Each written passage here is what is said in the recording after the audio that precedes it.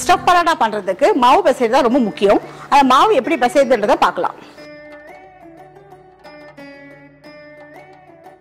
ரெண்டு கப் அளவுக்கு மாவு எடுத்துக்கலாம்.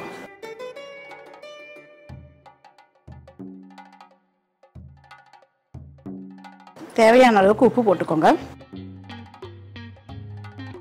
ஒன்றுலேருந்து ரெண்டு ஸ்பூன் வரைக்கும் எண்ணெய். ஃபஸ்ட்டு இப்போ பிறஞ்சி விட்டுடுங்க. எல்லாம் நல்லா மிக்ஸ் பண்ணிக்கணும்.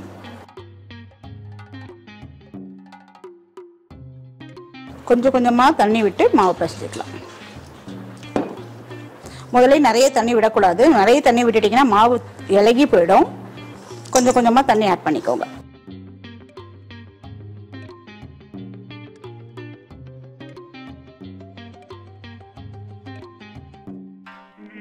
மாவு பிசைஞ்சு முடிஞ்ச உடனே கொஞ்சமாக எண்ணெய்.